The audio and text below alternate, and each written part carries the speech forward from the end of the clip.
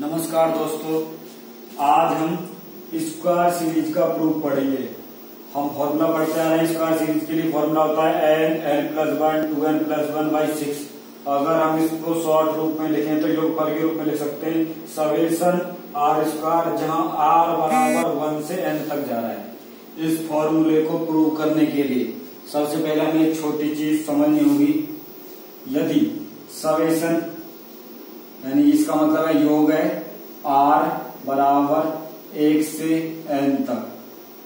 R cube minus r minus one का whole cube इस चीज़ को समझाना चाहूँगा मैं, यदि यदि हम आर का मान एन से एक की तरफ़ लिखें तो सबसे पहले एन लगते हैं, n cube minus n minus one का होल क्यू उसके बाद घटते हुए क्रम में एन माइनस वन रखते हैं, प्लस एन माइनस वन का whole cube minus n minus two का होल क्यू ऐसे चलती रहेगी सीरीज़ और लास्ट में पहुँच जाएगी, दो का क्यू माइनस एक का क्यू प्लस एक का क्यू माइनस ज़ीरो का क्यू अगर हम यहाँ ध्यान से देखें सीरीज़ को एन माइनस वन टू से एन माइनस वन का होल क्यू कट रहा है। ऐसे एन माइनस टू से एन माइनस टू का होल क्यू कट जाएगा।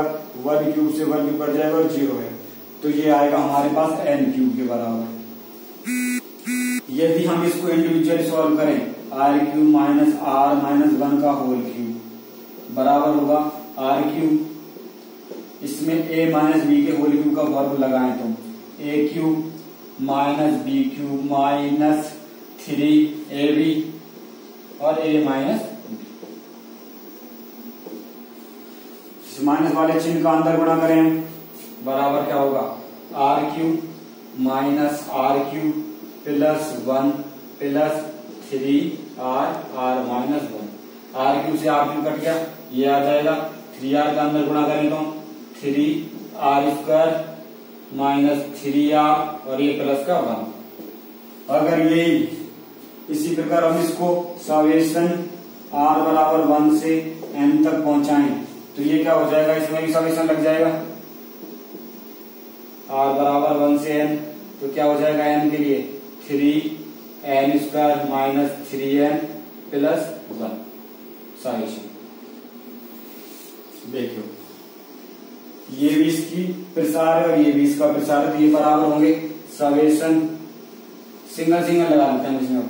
Three n square minus three n plus summation बराबर क्या होगा ये? एन क्यूब के बराबर होगा। अगर यदि हम इसमें सवेशन लगाएँ तो ये एक, दो, तीन, चार, पाँच, छह डॉट एन तक आएगा, जिसके लिए फॉर्मूला होता है summation n square minus three ये होगा n n plus one by और ये इसी प्रकार इसको एक को कहाँ तक जोड़ेंगे? एन बार जोड़ेंगे तो ये एन आ जाएगा। बराबर होगा एन क्यूब के। इन दोनों पक्षों को दूसरी साइड ले जाते हैं। बराबर होगा एन क्यूब ये माइनस का है तो इधर जाके प्लस का हो जाएगा। Plus three n n plus one by two और ये हो जाएगा उधर जाके माइनस इधर भी एन है, इधर भी एन है, इधर भी एन है तो एन कॉमन ले लेते हैं हम। और एलसीएम ले लेते हैं दो।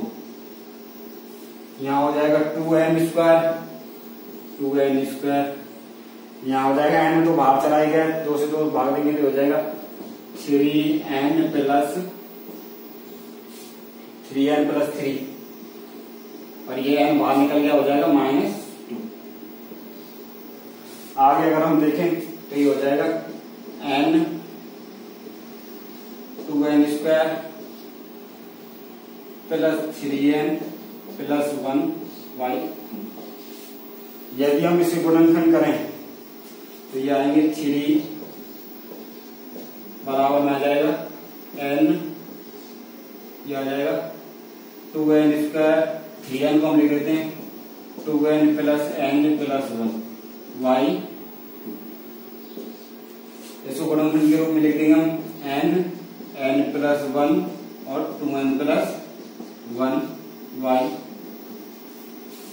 ये तीन है तो इसको भाग के रूप में बजाते हैं तो याद आएगा summation n cube sorry square आएगा एन स्क्वायर बराबर n n plus one two n plus one by six हमें इस स्क्वायर सीरीज़ के लिए यही फॉर्मूला प्रूव करना था कि हमारा आ गया